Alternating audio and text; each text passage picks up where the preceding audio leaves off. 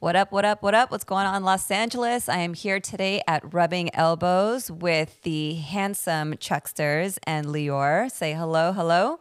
What's up? What up? What up? Okay, um, in my native tongue, I want to say namaste and let's get this party started.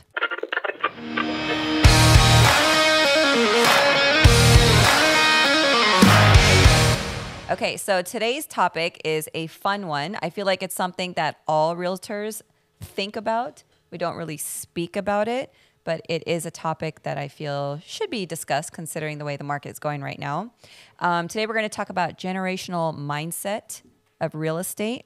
And before we get into it, I feel like we need to break down the demographic. Uh, according to Boston University, the um, generations are labeled as 1946 to 64 are the baby boomers. So that's age 58 to 76. And the economy was literally living off of the baby boomers just up until recently. Yep. Um, the next one you have is the Gen Xers. That's ages 52 to 57. So that's 1965 to 1980. The next one is Gen Ys, aka millennials. That's right. That's what's up. Um, ages 26 to 41. I might be a little bit closer to the last part of it, but it's all good. hey, and, for all of those out there that do, don't believe when I tell them I'm still a millennial, there's your proof right there. Damn right. And then you have the Gen Zers, aka iGen. Like, apparently, that's the generation that's more, um, what do you want to call it? Uh, they've been brought up with technology. The spoiled ones. Yeah. 10 exactly. to 25? 10 to 25, right? 10 to 25 is their age. You know, a lot of people, I actually did, I never knew what I was until until just now. To Would you finally, he me? found out that he's a baby boomer. No. Am I a bo- No, I'm not a baby boomer. I'm a Gen X. I'm a Gen X. 42 to 57, I'm a Gen X. You better say it with conviction. What are you? I'm a Gen X. Damn right you are. But for anybody who's under 42 and over 26, is that you? You're a millennial. That's we me. are millennials. Yeah. And then Lior Gen is a Z, millennial. Gen Z is anybody under 25. yeah, pretty much. Yeah. Now, what does that mean for us on this topic? I have a little statistic for Los Angeles County. Do you know that there's more than 10.1 million residents here in the county of Los Angeles? Median age is 38.1. So that means they are Single? Are we? Uh, is this a pop quiz? they're Are we supposed to be millennials. paying Hello, millennials. Okay, and So what's there's really 10 million awesome? millennials? 10 million millennials? No, no, no. The median age Oh. of those 10 million. Okay, okay. Is okay, Chuck, okay. pay attention. You're on camera. I'm just producer Leo Seriously. today. I'm not even on camera. All right, You I'm just here. hear my voice like the voice of God. Okay. What's pretty awesome is the fact that out of that 10 million, little over 50%, 50.7% are female. That's right. Who run the world? Girls.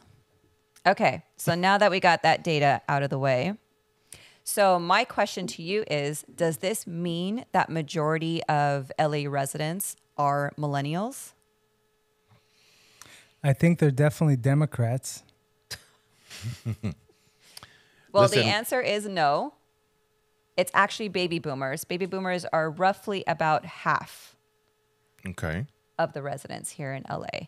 So now we get into question is what is the mindset of the baby boomer as far as real estate compared to the mindset of a millennial? Okay, now Ooh, do that's we a great question. do we want to put ourselves in a, in the shoes of a real estate agent trying to figure out like, hey, where are the listings coming from, or where are the next transactions coming from?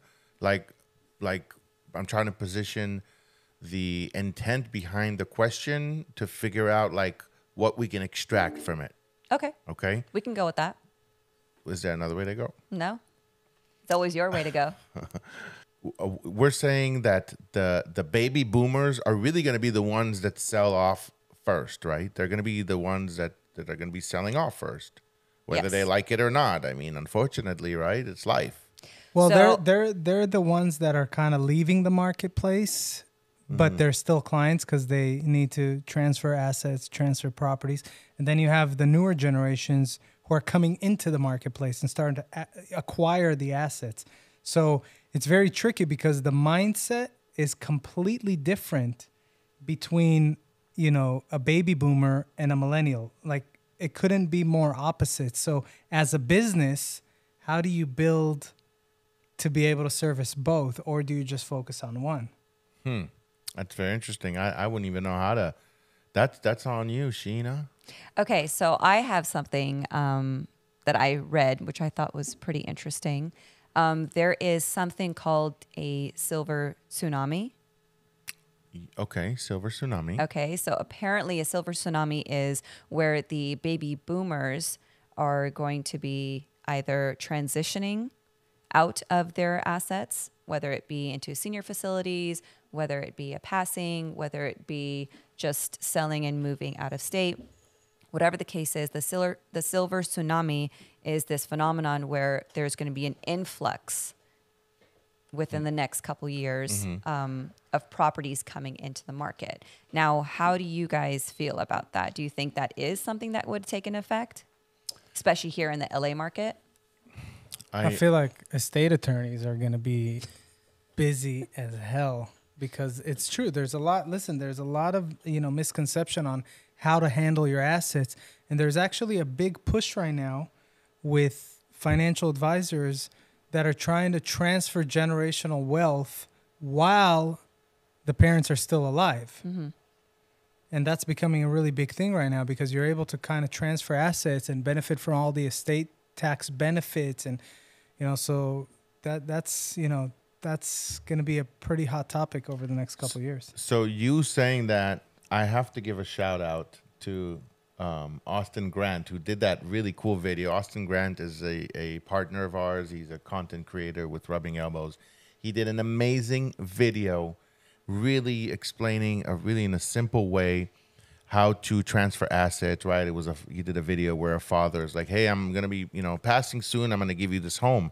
And the son's like, no, don't don't put the home under my name. I don't want to be responsible for all these taxes. Put it in the family trust. Put me as the beneficiary. That way, it doesn't have to go to probate. Doesn't have to go through this. Doesn't have to get reassessed. All these things, right?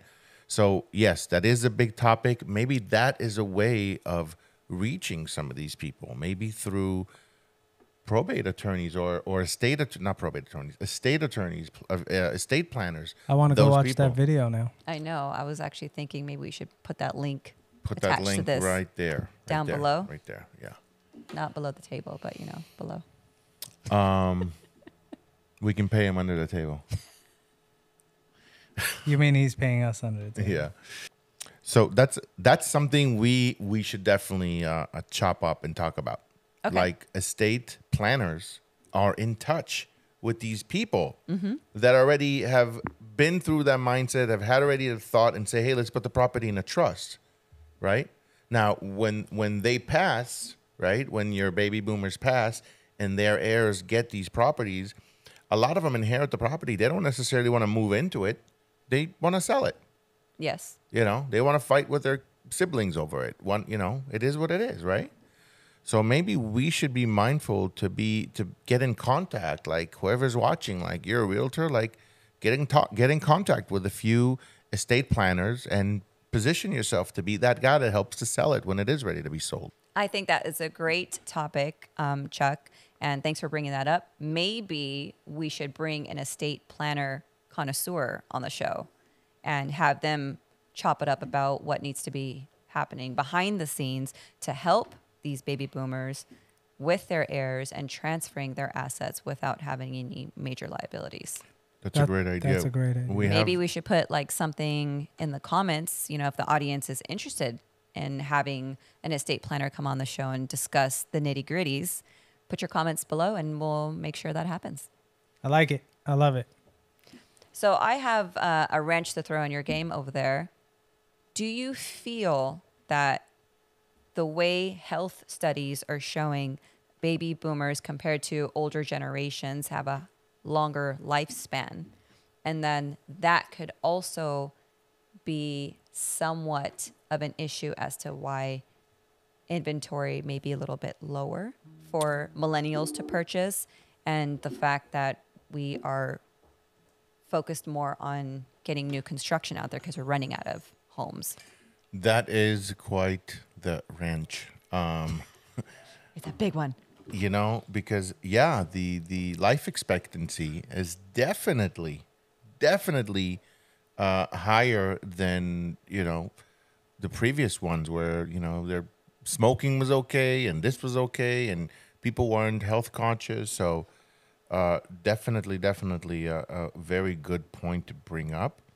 Um, but when you say it's an issue that these people are living longer, I don't think it's an issue. Like you're trying to kill them off? No, definitely not.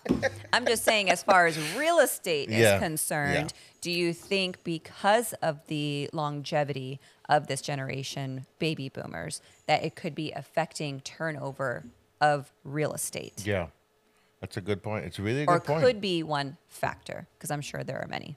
You know, so I will say this. Even if it is a factor, there's only 20% of these baby boomers that are really truly health conscious. The rest of them, you know, you can't t- teach old dogs new tricks. They're not staying away from the things that they love, uh, the things that they've grown to love, the things that bring them, you know, joy, like apple pie and ice cream and whatever it is they're comfortable eating. But you do have that 20% that actually did incorporate, you know, walking and doing some, you know, healthy uh, activities. So those might be, you know, those are, are inventories that are not going to come on for a little bit longer. But, you know, I mean, at the end of the day, there's still that 80% that will come. So I think it's a great point to bring up. I don't know how much it'll really affect the inventory. Okay, just thought I'd put it out there. Very interesting point, though. Okay, so now let's get back to the mindset of baby boomers and um, versus millennials as far as real estate is concerned. From what I've seen in market, I've noticed that baby boomers are heavy on real estate investments as opposed to millennials that like to diversify their investments. Now, what could that look like? Obviously, real estate will be in the picture, stocks, not so much bonds, crypto. Um, what are your thoughts on that? So I feel like the millennials are investing in things that um, some of that older generation would never imagine to invest in. Like when you look at uh, Logan Paul with his million dollar Pokemon card, you know, and it's like, what the fuck? Like a million dollars for a card? And then you've got these younger kids. They're like, uh huh. You see, you see, mom, it does work, you know. And these are the same kids that are pointing at their mom. You see, mom, I don't have to go to school. I could be on Twitch making money, streaming my, you know, I could do that. Yeah. You know. I mean, Yeah, look at Mr. Beast. That's exactly what happened. He lied to his mom about going to college, wasn't going to college, was studying YouTube, and now he has 200 million subscribers and a virtual burger joint all over the US. And he's just making tens of millions of dollars a month in income. You know. With that said, I feel like there's a lot of um, what do you call it when it's like like exception to the rule, right? It's like um, Unicorns. Yeah, there's a lot of unicorns. Like like Mr. Beast is a unicorn. If every kid in America was like, you know what? No, I don't want to go to school. I don't want to read. I don't want to. Do, I want to do. I want to be a content creator. You know, I want to be a digital influencer like Mr. Beast. Sure, uh, you know, 100 million kids are going to go do that. Maybe you know, 400 of them are actually going to push through and make money off of it. You know, same goes for Twitch. Same goes for YouTubers. Same goes for a, a lot of these. Same goes for real estate. Same goes for anything, right? Any At the end of the yeah. day, it's an 80 20 rule, and you only have 20% of any uh, industry that is generating 80% of the revenue for, for that industry. Listen, I agree with you 100%. However, real estate is actual work. You can't agree with me and then say, however. Okay, let me rephrase that. let me rephrase that. You're right.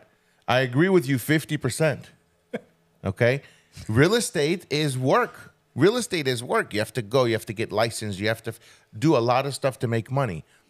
Uh, blowing up balloons on on YouTube and making millions of dollars, that's not the same. that's I- not I- apples and th- apples. th- then I disagree with you. And Well, let's will- take this and- outside and I then. will, I will tell you why I disagree. Because when people see someone like Mr. Beast or like Logan Paul, they see a finished product. Now, mm. yes, there are mm-hmm. exceptions to the rule, and there's people that came from a you know celebrity status family and they have that extra push or whatever the case may be but people don't see the mm-hmm. amount of hours work and and years that Mr. Beast had to put in before he became successful and the investment that he put in himself. Just like an athlete, right? You see Kobe Bryant and you see the greatest basketball player on earth, but you don't see what it took for him to become the greatest. So you just assume, you know, he was born naturally gifted. It's not natural. You know what that's called? That's called the highlight reel. And I mm-hmm. feel like in our in our mindset nowadays, we're so focused on everyone's highlight reel that we forget to take into consideration what it takes to make those moments hit the highlight reel. 100%. I, I'd like to point out, you know, there's a book called uh, Outliers. Okay, Malcolm Gladwell. He talks about all these different, like, incredibly successful people and what their circumstances were, right? Like, he talks about Bill Gates and Steve Jobs. Like, they were just regular kids, but, like, I think it was Bill Gates or one of them, the mom was like you know involved in some HOA that they had like a little clubhouse that had a little computer and he had access to it. And he just messed with it messed with it. He got so much more advanced than any other kid you know? Years later wouldn't even get to this access that he had but you know access that he had with this computer right? He talks about hockey players how okay you know what advantage what advantage did you have over all these other hockey players? How did you make it so good uh, so big? And it mm-hmm. turn it takes them all the way back to him being like you know the the you know he stayed behind the class. What do you call it when you're you're staying After behind So- school? no no no. Like he was supposed to go to second grade but he got held mm-hmm. back held then he back, was like yeah. the biggest student in the class and that gave him more confidence and that confidence you know you know interpreted into all these different things. All of a sudden he's like nhl now you know whatever whatever right? I think same goes here you've got a lot of people that have advantages that we might not see you're saying that kobe bryant wasn't naturally gifted his dad was a basketball I didn't player say he's not, but I'm saying that if he didn't put in the same level of work ethic as he did, he wouldn't have been the greatest. The reason he's the greatest is because he was the first one in the gym, the last one out of the gym. If he messed up on something, he perfected that screw up so that next time it wouldn't happen again. He was his number one, um, you know, Critic, fan, yeah. critic, and he was always competing with himself, not anybody else. So anytime he got to a certain level, he had to take it up a notch. And you know what? A lot of people also use the terminology, you know, that person was lucky. He was at the right place at the right time, or he, you know, his mom worked at so and so, so she connected it. And I heard somebody say this, and and I, and I love this. I live by this. Luck, luck is the definition of opportunity meeting skill at the right time because you can't get lucky if you're not good at what you do. And yes, maybe you got lucky and you had an opportunity, but if you didn't have the skill to close that opportunity, luck doesn't matter. You're right. And I will say this I walk around with this shirt, Lucky Chucky. Okay. There's a reason for it. I always wear Lucky because I want to be in that mindset. I am fucking lucky. I always want to be in that l- mindset. Okay. Um, but going back to what you just said, there's a, a, a line that Tony Robbins says that's just so fucking perfect. And he says this he says, People are publicly praised, you know, for all that stuff that they privately work on and perfect, you know. So we only see the highlights. We only see of them winning the, we don't see them working their balls off to get to where they're at, you know. Crying So- in the corner, yeah. pushing themselves, you know? You don't Yeah. see any of that. and you don't know what pushes them. Like you look at Caitlyn Jenner. Okay, here's the most extreme example in the world. Okay, world champion runner, right? Uh, Just the best athlete in the world was on a Wheaties uh, cereal box. That that's like that was a big thing in the '80s. He talks about it now. Now that he's a woman, he's transitioned. Talks about like I was running away from like the person that I was. So you don't know what drives people. Like you seriously don't know what drives people. All right. I know I'm That very was- passionate. was- I'm very passionate about this, but That was a yeah, hard right we took. yeah. Let's get back, on, let's get back on track. get back here.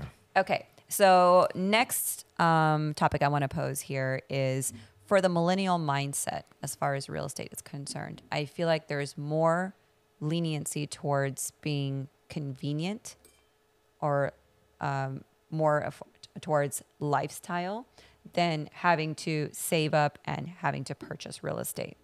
Now, what do you think those factors could be? Do you think it's maybe a majority of Los Angeles are self-employed or they have their own businesses where, you know, it's a matter of being convenient or, you know, they have that type of lifestyle um, where they want that flexibility and not having to stay committed to real estate or to a property compared to a baby boomer's mindset? What are your thoughts on that?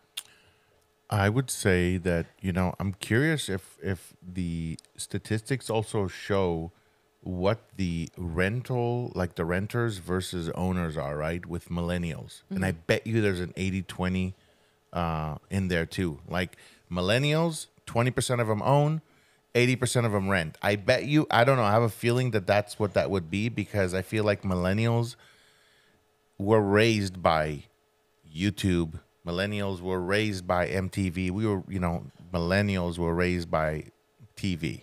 Okay. Yeah. So um, a lot was easily accessible. It is more for convenience. Uh, they're they're they're more comfortable in their skin. I think the ones that are that are not really looking to invest. They're looking to live today. They're looking to be present. A lot of them the 20% that wants to buy and own and do this and that the other are, are the ones that are a little bit more serious according to our standards you know my standards as a gen z but who's to say that millennials renting is not the right way to go they have less stress they don't have property taxes they don't have the headaches of being a homeowner who's to say that's not the right way of doing things Maintenance, yeah yeah right? right I just made it on camera, by the way. What's up, y'all?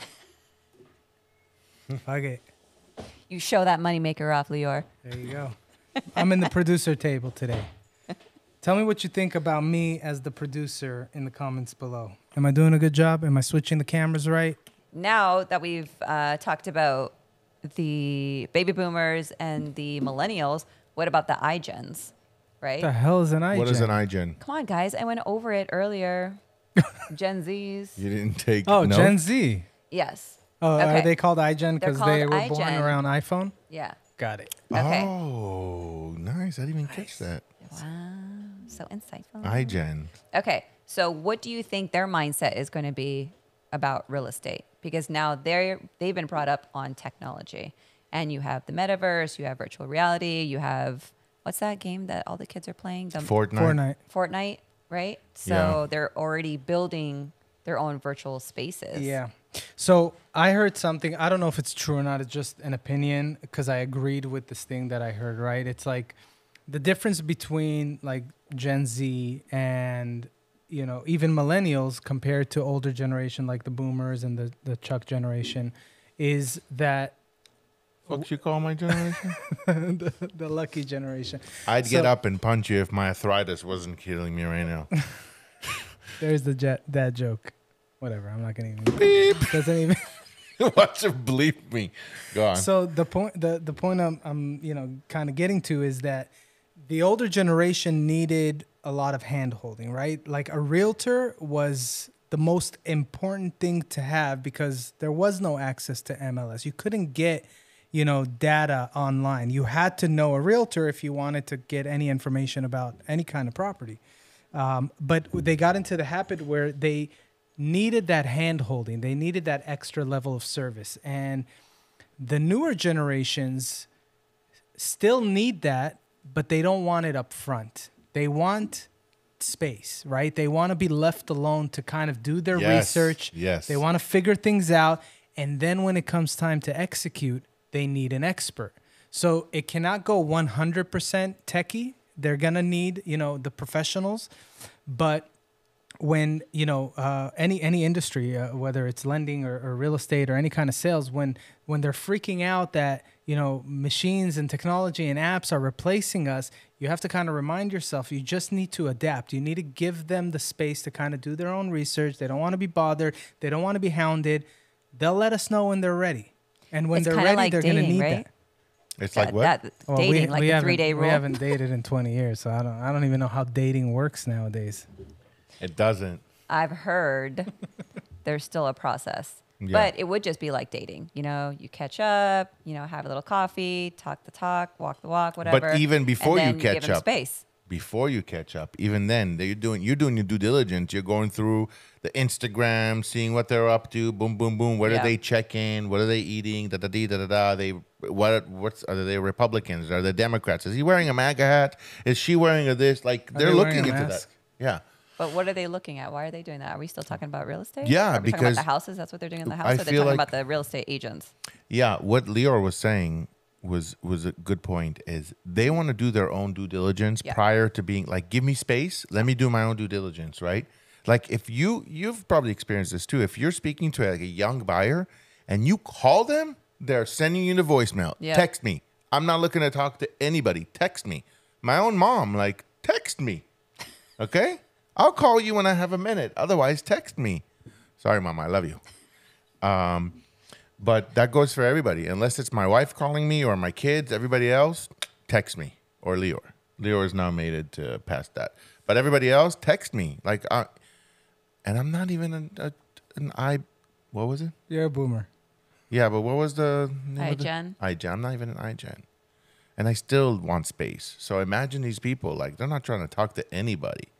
Yeah. You know, they did research. Uh, I I can't remember who, but uh, you know, one of these research companies. They, they did research that said. I think it was actually Zillow uh, hired a company to do research that um, millennials, sixty-seven percent of millennials have uh, uh, have agreed that cereal is an inconvenient breakfast. Like just to take the time to actually pour cereal in a bowl, go to the fridge, grab milk, and put it in a bowl. It's too inconvenient. It's all like grab and go. It's like you know, mobile app, pick it up from Starbucks on the way. Don't even wait in line. That is kind of how things are getting. So it's like you know, they they have to do it at their pace, their way. But in the end, they do need the experts. going back to going back to what you said about wanting you know they, they don't want they want to be left alone right like they see a house first of all they know what neighborhood they want to be in right Yeah. They know what neighborhood they want to be in. They know approximately what price range they want to be in. If they go on zillow zillow redfin trulia whatever all those different right there you've got a loan calculator. How much down payment are you Yeah. putting? You know 10 years ago 20 years ago you needed an agent. You needed a loan mortgage to help you with this. You needed to find this person that person. This you already have a zestimate. You already know what it's worth. You already know what you're putting down. You already know. what your payments when, are going to be. When I get a call from someone and they're like, "Hey, can you just tell me like on a five hundred thousand dollar mortgage what my payments are going to be?" Immediately, I'm like, "You're forty two plus, aren't you?" yeah i guess so. I guess so. Erase that joke.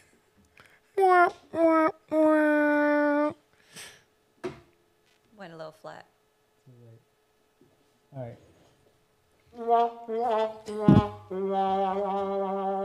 he just turned 40 he really did last week I did. Oh yes, happy belated. I gave you a Thank you. shout out and Thank said, "Did you you. see it?" Yes, I responded. So we've definitely uh, uh, established, and it's just we've established like the the the iGens Yes.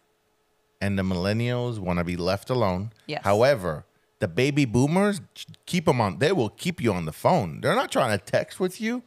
They're not trying to catch an email. They're not trying to circle back on Insta later. No, call me. Talk to me now, and they'll tell you, "Hey, you want to talk to me? Pick up the phone and call me."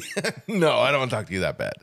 Actually, that is true. Um, when I have clients that are in the baby boomer um, section, what I'll do is I'll have a conversation with them and I'll send them a text message about the conversation, or I'll send them a text message saying, Hey, let me know when you have a few minutes. I want to talk about ABC with you.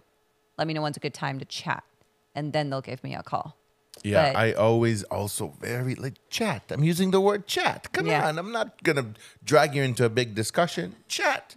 I'll even throw Quick check in. yeah, brief chat. You know, 40 minutes later. hey, just uh, respond one if you want to talk today. Respond two if you want to talk tomorrow. You know, it's a shitty Blink if you understand. Yeah, or voice notes. Those are my favorite. I know they're your favorite. You're the only one that does the voice notes. You know, everybody I no. talk to, You don't know enough Israelis then, because That's all they do, really? that's all we do. everyone I talk to who's not Israeli always tells me you're the only one I know that uses his voice notes. I hate those fucking voice notes. I'm like, I love those voice notes. Yeah, but you know, even my wife tells me, you know, if I'm driving and I'm listening to the radio, I get a voice note, I have to press play. It takes over my whole system, my whole music. I don't want to hear you on surround Yeah. sound, honey. Yeah. I don't want to hear you in surround sound. So yeah. So what are we gonna do different, or what are you gonna do different? Well, I think this was a great conversation to understand how the mindset is. between the different demographics of our clients. And that's kind of what I wanted to touch base on today because there is a significant difference. And there is a significant difference on how they see real estate as an investment. Um, baby boomers, obviously, it is a priority. Millennials, I feel like it's secondary, right? Primary investments would be something like crypto or stocks right now. And then eventually that money is going to help them with their purchase of real estate. Baby boomers, real estate first. And then that will help us with other things down the line. Yeah. You That's know, just how I see the two mindsets. I saw on Jimmy Fallon yesterday. He's he was talking about Elon Musk buying Twitter, and he mm-hmm. was like, he is going, you know, he is going to slowly like only hire like the young young people because there's also talks of him buying Fortnite, but it mm-hmm. hasn't been like publicized. I just hear about it from like my eight year old kid who's telling me they're talking about it like in the chat rooms. That's like that's a conversation. That's their conversation. Like when is he gonna buy it? Anyway, so Jimmy Fallon says, like, would you prefer to be paid in V Bucks? You guys know what V Bucks are? Yeah. It's No. the money, Of it's the course. currency. I used to in buy them Fortnite. for my daughter. Like Oh, the, at, okay, okay. at the checkout at Ralph's, I used to buy her the card because then you at least get like a little, you know, gift with Yeah, it, like yeah. an outfit or you know. I also used to buy them for myself, but that's yeah. That's a different conversation. So I asked my son, here's your here's a perfect conversation, like a f- perfect example. I asked my son, I said, Do you want just like V Bucks or do you want to go to college one day? He said V Bucks. You know? And can you blame him? no? You can do pretty much everything. Do you know that within the next few years, you'll be able to order, like through the Fortnite, you'll be able to order like on Postmates or whatever and pay with V Bucks. And Postmates are going to be able to automatically convert that currency to dollars, whatever it's worth, dollar versus V Bucks. So but just does that actual order come to your yes door? to your door. so your physical world gets the order Yes. and you eat in your physical world. Yes. Okay, I just want to make sure. Yeah. That's awesome. That's fucking awesome. Especially if you know some of these kids they're trading off like like they're trading off weapons and they're trading off like outfits and and weird shit. I don't know. I'm not really into Fortnite. I just watch my son play. I'm like, this is fucking dope. Yeah. Hey, hey, comment below if you're into Fortnite. Okay, so hopefully we're gonna get some comments down here for you to bring uh, an estate planner. I actually have someone in mind. Mm. I know. Perks of being part of the Exchange Network LA. Yes. Why don't you talk a little bit about that? Like, what are the you know things that you've done outside of just typical day to day you know work, uh, leads, door knocking, all that stuff, which is standard. What have you done that has kind of helped your career in terms of like just building relationships? Um, I think the number one thing is networking inside your industry and outside of your industry. So I'm part of two networks right now. Um, I'm with Women's Council Realtors Los Angeles. This year, I'm events director. Um, the past two years, I was president, and that helped me get myself introduced to a lot of top agents in the area. And um, that really means a lot when you're trying to put offers in or you're looking at homes, you're trying to get off market information. You've built your relationship. So you've built a foundation. Um, with the Exchange LA network, that's a professional network. So each network or chapter has um, a limit to how many real estate agents can be part of each uh, chapter, how many trust attorneys, probate attorneys. Uh, there's up to two or three, I believe. So Yeah, aren't those like impossible to get into? I got into it, honey. Let me tell you. And it's amazing because you just literally you sign up and now you've just expanded your Rolodex, right? If I have a client that is in need of some trust information, I'm not going to be talking about it. But let me tell you, I got three people and I'll send their information. I'll send them an email saying, hey, I've forwarded your information to client XYZ, but along with two other names because I always like to give three. And because you never know, my chemistry might be good with you, may not be so good with Lior. But whatever the case is, you want to make sure that your client finds someone that they're comfortable with. So that's why it's so important to be part of networks that are outside of your industry because you never know what strings you need to pull. Mm-hmm. Yeah, this was definitely a, a interesting episode to talk about things that we all kind of know. Like we all kind of know that there's your digital world and and crypto and investments here, and and you know we all know that our parents speak a certain way and our younger cousins and whatever see things a certain way Yeah. you know? So it's nice to like talk about it and and kind of bring it to light and just like if you're watching it just know you're not the only one thinking about it. Like you know when you're talking to your parents and you're like okay bye mom. Love you. And she doesn't hang up. For whatever reason they don't hang up they're just listening let's see what you're up to We love you, moms. yeah. Like that generation will do that. You hang up with somebody who's over 50 years old. All right, thanks. Bye. They're not hanging up until you hang up. I don't know why, but they don't. But the younger generation, you're like, all right, bye. Oh, you hung up. You know, they'll hang up or they just get me It's off the phone. It's, it's like What's when the you're average first- amount of buys that you hear though when you're trying to say bye? Like five, six buys? Oh, I don't know. No, you hang up first. No, that's dating. That's, That's different. dating. That's You not with first. mom. Yeah, no, it's not with mom. Well, I want to thank you, gentlemen, for helping me discuss this topic. I think we hit the nail on the head, and I'm excited for more topics to come. Um, want to do a quick shout out to Women's Council Realtors Los Angeles. We have a our annual top producer auction happening next Wednesday, November 9th, 6 to 9 p.m. We have some heavy hitters that are going to be auctioned off, so we're really stoked. And drum roll. We He's got a looking for the new- drum roll button. we got and keep going. I don't have it, but I have this one. It may Okay. not mean nothing. we have a new sponsor for our event, our very own Rubbing Elbows family. whoop. That's what's So up. I'm really, yes, that Calm down, people. Calm down. So I'm really stoked about that to show us off at our event. And um, yeah, it's going to be great. It's going to be a bunch of realtors. We're going to be getting Lady Titty, having fun, auctioning off our finest. What'd she say? I know. What? Am I not allowed to say that? I didn't know what you said. I don't know what I said. I'm not saying it Did again. she say lady titty? Okay. I'm saying we're gonna have a great time. There's Okay. gonna be snacks, I appetizers. knew, I knew you heard. I switched Margarita. the camera to you the second she said it because I knew. I Because knew you know what that happened with heard that, TikTok person that one time, right? you remember? Uh oh. Uh oh. We were at an event. I gotta share this. We were at an event, and this girl goes. She said, "I'm such a TikTok bore. I'm such." No, um, she's like, uh, she okay, go on. And I was like, "Bro, did she say I'm just a TikTok whore? She's sitting with her dad." He's like, "No, she didn't say that." I was like, "I don't know. I think she said I'm a TikTok whore." No, I'm, she said, she said it's just me dorking around on my. I'm a TikTok dork. Maybe she said. That's what she said. And what did you hear? I heard her saying I'm a TikTok whore. And I was like, yo, we got to get her on the show. No, I'm kidding. Um, but um, that was just funny. Anyway, so we're going to be there. Sagebrush. right? Sagebrush Cantina in Calabasas.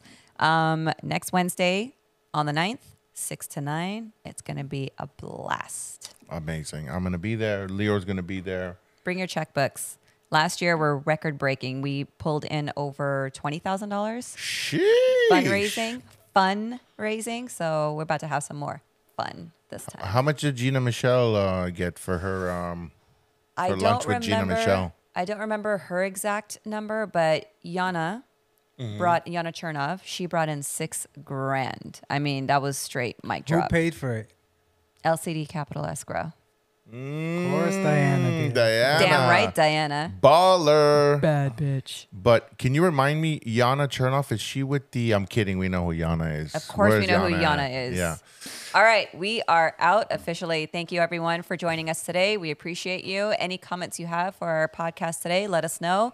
And any recommendations, suggestions as far as topics that you want to hear about, we'd love to hear from you. Thank you, and see you soon. Bye.